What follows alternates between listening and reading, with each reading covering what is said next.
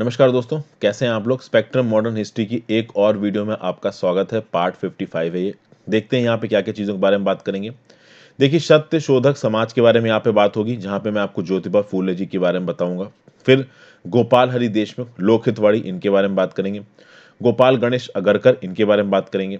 Servants of Indian Society Gopal Krishna Gokhale ji, जिन्होंने बनाई थी, उसके बारे में बात करेंगे। और सोशल सर्विस लीग के बारे में हम लोग यहाँ पे देखेंगे। आगे बढ़ने से पहले दोस्तों, मैं आपको ये बता दूँ कि देखिए, गोपाल कृष्ण गोखले जी की मैं पूरी बायोग्राफी उनके लाइफ के क्या क्या अचीवमेंट्स जो जो भी इंपॉर्टेंट चीज़ें हैं, उस पर मैं एक वीडियो ऑलरेडी बना चुका हूँ। गोपाल कृष्ण गोखले को मेरे नाम के साथ यूट्यूब में सर्च मारिए, आपको ये वीडियो मिल जाएगी। साथ साथ ज्योतिबा फूले जी की मैं बायोग्राफी बना चुका हूँ। उन्होंने सत्य शोधक समाज के लिए क्या क्या किया इसके ऊपर मैं पूरी अलग से वीडियो बना चुका हूँ। तो ज्योतिबा फूले के साथ मेरा नाम यूट्यूब पर सर्च मारिए, आपको ये वीडियो मिल जाएगी। ये दोनों वीडियोज़ देख लीजिए, आपकी प्रिपरेशन में काफ़ी मदद देने वाली है। आगे बढ़ने से पहले आई होप आपने किताब खरीद ली हो और मेरे साथ बैठ के पढ़ रहे हो। लाइक बटन दबाना ना भूलें। मेरी वीडियोस की नोटिफिकेशन चाहिए तो नीचे डिस्क्रिप्शन बॉक्स में टेलीग्राम चैनल का लिंक दे रखा है। आप उसको ज्वाइन कर लीजिए। इंस्टाग्राम पे आप मुझसे जुड़ के मुझसे थोड़ी बहुत बातचीत कर सकते हैं। मैं ज़्यादा से ज़्यादा आपकी जवाब सवालों के जवाब देने की कोशिश करूँगा। साथ साथ मेरे द्वारा बनाई गई एमसीक्यू मॉडर्न हिस्ट्री की क्वेश्चंस की वीडियोस को अगर आप देखना चाहते हैं तो आप चैनल के मेंबर ही बन सकते हैं। नीचे ज्वाइन बटन पे दबाइए, वहाँ पे आपको वीडियो मिल जाएगी, पूरी इन्फॉर्मेशन मिल जाएगी क्या क्या आपको वहाँ पे मिलेगा। शुरुआत करते हैं ज्योतिबा फूले जी के। ज्योतिबा फूले जी की बात की जाए, ये एक्टिव थे किस टाइम पीरियड में? 1827 से लेकर 1890 तक के टाइम पीरियड में ये एक्टिव थे। सतारा में इनका जन्म हुआ था महाराष्ट्र में। और माली कम्युनिटी के थे ये। गार्डनर कम्युनिटी होती ना, माली कम्युनिटी आज भी डेट में आप देखिए कि आपके गार्डन्स में अगर कोई काम करने के लिए आए तो उसको माली बोला जाता है। अभी चक्कर ये था दोस्ती कि उस समय पे जो हमारे देश में कास्ट के बेसिस पे सब कैटेगराइजेशन हो रहा था, उसमें माली की भी एक कास्ट बन गई थी। तो ऑब्वियस ही बात है कि ये माली कम्युनिटी के थे। और चूँकि आपको पता है कि कास्ट सिस्टम कुछ इस आधार पर बटा हुआ था कि एक कास्ट के लोग एक ही जॉब में इन्वॉल्व होंगे। ओके आप देखेंगे कि ज्योतिबा फूले जी ने अपर कास्ट डोमिनेशन के अगेंस्ट एक बहुत बड़ा मूवमेंट चलाया। ब्रह्मनिकल सुप्रीमेसी के अगेंस्ट उन्होंने एक बहुत बड़ा मूवमेंट चलाया। एक बहुत ही रेवोल्यूशनरी फिगर थे। इन्होंने अपनी वाइफ को भी पढ़ाया और अपने वाइफ को अपने साथ इन्वॉल्व करके जो अपर क्लास डोमिनेशन था, उसके अगेंस्ट एक जंग छेड़ी। साथ साथ गर्ल एजुकेशन और वुमेन एजुकेशन की तरफ़ इन्होंने स्पेशल ध्यान दिया। बात करें इन्होंने क्या फाइंड किया तो इन्होंने फाउंड किया सत्य शोधक समाज। देखिए सत्य शोधक समाज को क्या बोला जाता था? ट्रुथ सीकर सोसाइटी इन्होंने कब फाउंड किया? 1873 में। आप देखेंगे, इस समाज की जो ज़्यादातर लीडरशिप थी, और ज़्यादातर जो इसकी मेंबरशिप थी, वो बैकवर्ड क्लासेस से थी। तो आपको इसमें मालीस तेलीस, कुनबीस, सारीस, ढंगर्स, जो उस समय की सोसाइटी की सो कॉल्ड बैकवर्ड कम्युनिटीज थी, वो भी थी। लेकिन सत्य शोधक समाज में कोई अपर क्लास का पर्सन हो, उसके लिए भी ज़्यादा जगह थी अगर वो लोअर क्लासेस के लिए फाइट कर रहा है, देखिए अपर क्लास के सब लोग दबाते नहीं थे। कुछ बहुत ऐसे म्यूनिसिपल लोग थे अपर क्लास में, जो कि वो चाहते थे कि ओवरऑल हिंदू सोसाइटी मिलकर एक बड़ी सोसाइटी स्ट्रांग सोसाइटी बने। तो वो लोअर क्लास के अपलिफ्टमेंट के लिए लगातार काम करते रहते थे। तो उन लोगों को पूरा स्वागत था सत्य शोधक समाज में ओके सत्य शोधक समाज में इनफैक्ट उस हर इंसान का स्वागत था, जो कि lower caste backward class women और आप कह सकते गर्ल एजुकेशन में इंटरेस्टेड हो गर्ल एजुकेशन में इन सब चीज़ों में कुछ करना चाहे। अगर आप बात करो सत्य शोधक समाज की तो सत्य शोधक समाज के दो एम थे। सोशल सर्विस सोशल सर्विस में ऑब्वियस ही बात है सोसाइटी में उस समय पर जो दकियानुसी ख्याल आते हैं उनको हटाना सोसाइटी के मेंटल लेवल को सोशल लेवल को बढ़ाना। साथ साथ एजुकेशन को फैलाना वुमेन के बीच में और लोअर कास्ट के पीपल के बीच में, क्योंकि कहीं ना कहीं एजुकेशन एक रिस्ट्रेनिंग फैक्टर की तरह काम कर रही थी। अगर आप अच्छे से एजुकेटेड हो, आपने चीज़ें पढ़ लिख रखी हैं तो ऑब्वियस सी बात है आपकी जो सोच ही होगी, वो बहुत मैच्योर होगी, आप अच्छा सोचोगे, आगे का सोचोगे। अगर आप पढ़े लिखे नहीं हो तो ऑब्वियस सी बात आपकी जो सोच है, वही दकियानुसी होगी। तो ऑब्वियस बात है, अपने सत्य शोधक समाज के थ्रू एजुकेशन पे काफ़ी फोकस करते थे फूले साहब। फिर अगर आप ज्योतिबा फूले जी की बात करिए इन्होंने दो किताबें लिखी। आपके सामने नाम लिखा है, सर्वजानिक सत्य धर्म और गुलामगिरी। सर्वजानिक सत्य धर्म और गुलामगिरी अपने किताबों के थ्रू, इन्होंने लोकल मासेस को बताया कि आप इंस्पायर होइए, ये कास्ट हेरारकी के अगेंस्ट लड़िए वुमेन्स को बताया कि जो भी आपको दबाता है, अपने आपको दबाना मत सही है, आगे आइए, अपने राइट्स के लिए आवाज़ मांगिए। आप देखोगे दो तीन थ्योरीज के आधार पर, जो ओवरऑल अपर कास्ट का डोमिनेशन थी, उसको हटाने की कोशिश की ज्योतिबा थोले ने। जैसे कि आर्यन डोमिनेशन आप देखोगे दोस्तों वैदिक काल में ये बोला गया कि ये जो आर्यंस थे, ये एक यूरोपियन येस थी, यूरोप से ये लोग इंडिया में एंट्री मारे और इन्होंने इंडिया की जो डोमेस्टिक क्लासेस थी उनको सब्जुगेट किया। तो इस चीज़ को इस्तेमाल करके ये जो वैदिक सोसाइटी डोमिनेंट होकर बैठी थी नीचे की क्लासेस पे, इसका खंडन किया। ज्योतिबा फूले साहब ने फिर ज्योतिबा फूले साहब ने एक और पॉपुलर कैरेक्टर को उठाया और वो था राजा बाली। अभी राजा बाली कैसा पॉपुलर कैरेक्टर था? राजा बाली कैसा पॉपुलर कैरेक्टर था? गोल्डन एज का एक अल्टरनेटिव, जैसे वैदिक काल को गोल्डन एज बोला गया है हमारे सिविलाइजेशन की। ज्योतिबा फूले जी ने क्या बोला? कि नहीं भाई, राजा बाली जी का जब समय था, तब गोल्डन सिविलाइजेशन थी। अब ऐसा मानना था जो मराठी सोसाइटी है, मराठी सोसाइटी के कुछ पॉकेट्स में देखोगे कि आप ऐसा मानना है कि जिस समय पे इंडिया में वैदिक इन्वेजन हो रहा था, जो यूरोपियंस थे आर्यंस के फॉर्म में इंडिया में घुस रहे थे, उस समय पे महाराष्ट्र के एक बहुत बड़े इलाके पे राजा बाली का शासन था। और राजा बाली के शासन को काफ़ी अच्छा माना गया। तो राम का जो शासन का जो सिंबल दिखाया जाता ना एक आइडियल सोसाइटी के लिए, उसके बजाय यहाँ पे जो ज्योतिबा फूले जी हैं, वो राजा बाली के शासन को एक आइडियल टाइम बताते थे फिर उन्होंने बोला कि कास्ट सिस्टम को पूरी तरीके से हटाइए, ये कास्ट सिस्टम बिल्कुल गलत है। ओके, यहाँ पे कुछ लोग जो कि हाई क्लासेस के हैं, वो नीचे के लोअर क्लासेस के वनरेबिलिटीज़ का फ़ायदा उठाते हैं। बहुत सारी सोशियो इकोनॉमिक इनक्वालिटीज़ है सोसाइटी में। इनको हटाने की बात की गई। ये जो सांस्कृतिक हिंदुइज्म है, इसको हटाने की बात की गई। डिप्रेस्ड कम्युनिटीज़ के उनके राइट्स देने की बात की गई। ब्रह्मीस की जो रिलीजन का गलत इस्तेमाल करके नीचे की क्लासेस को दबाते हैं, उसको हटाने की बात की गई।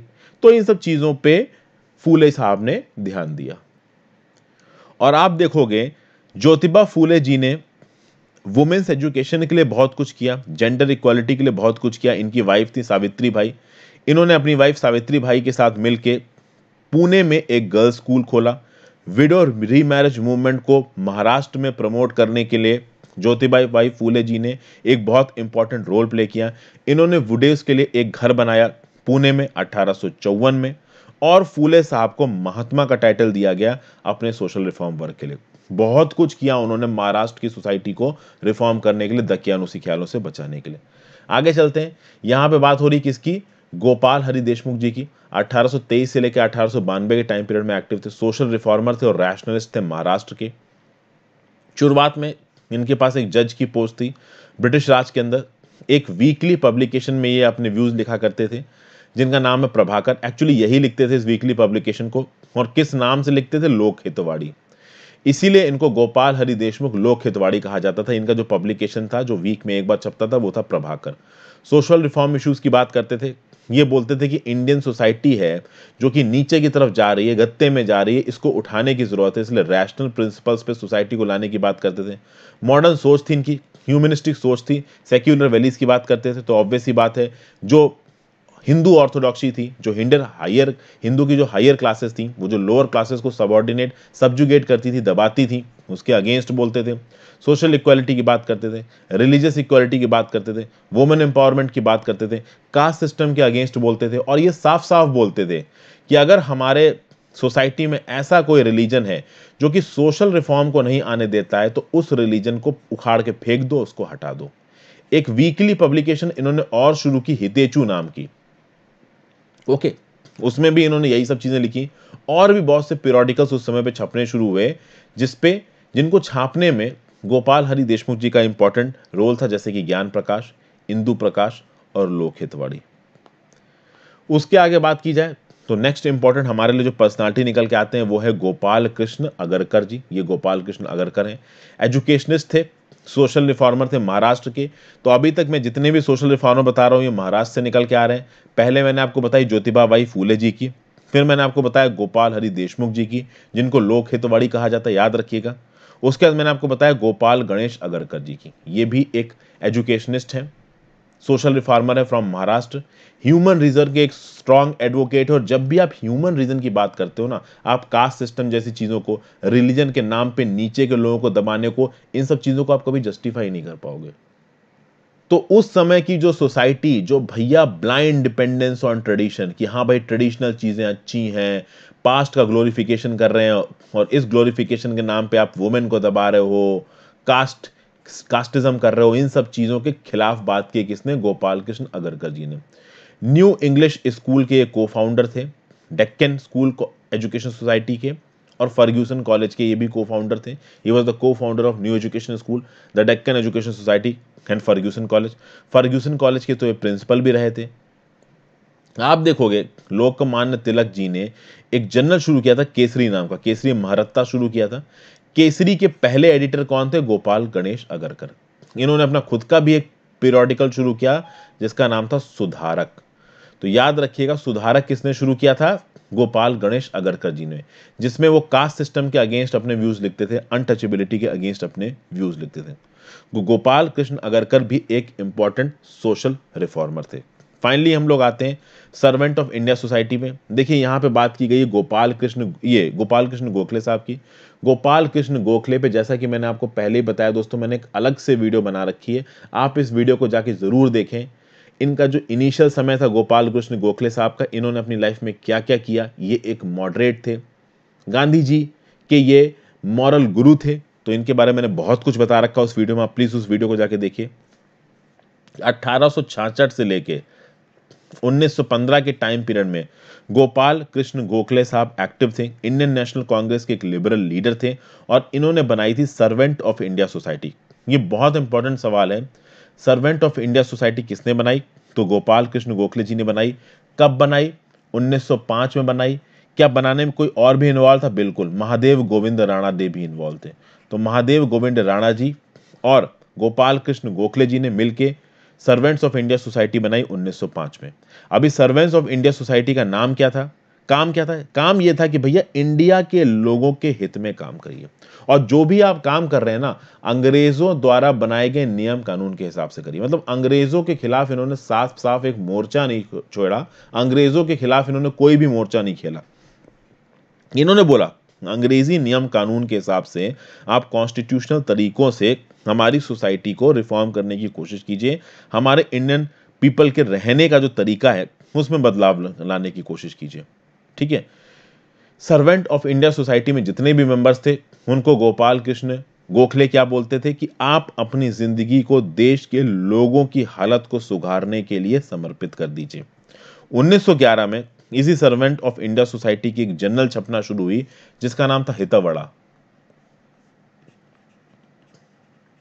Hitavada H I T A V A D A उन्नीस सौ ग्यारह में पब्लिश होनी शुरू हुई। इसमें सोसाइटी के व्यूज़ के बारे में बताया गया था। फिर, खास बात दोस्तों ये थी कि सर्वेंट ऑफ़ इंडियन सोसाइटी ने अपने आप को इंडियन नेशनल कांग्रेस जैसे ऑर्गेनाइजेशंस की पॉलिटिकल एक्टिविटी से दूर रखा। इन्होंने सीधे सीधे अपने आप को सिर्फ़ सोशल रिफॉर्म मूवमेंट्स की तरफ़ फोकस किया। इनका सिंपल सा सीन था कि अगर इंडियन नेशनल कांग्रेस की तरह हम लोग नेशनलिस्टिक बातें करेंगे, पॉलिटिकल बात करेंगे तो अंग्रेज़ी रिप्रेशन आएगा। अंग्रेज़ी रिप्रेशन आएगा तो सर्वेंट ऑफ़ इंडियन सोसाइटी काम नहीं कर पाएगी।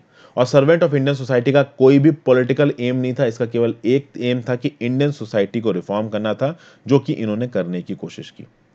1915 में आप देखोगे गोपाल कृष्ण गोखले जी की डेथ हो जाएगी और उसके बाद कौन चार्ज लेंगे? Srinivas Shastri ji. Srinivas Shastri will take over as the president of Servant of India Society आज भी ये Servant of India Society active है। बहुत कम जगहों से ये काम करती है। एजुकेशन की फ़ील्ड में काम करती है।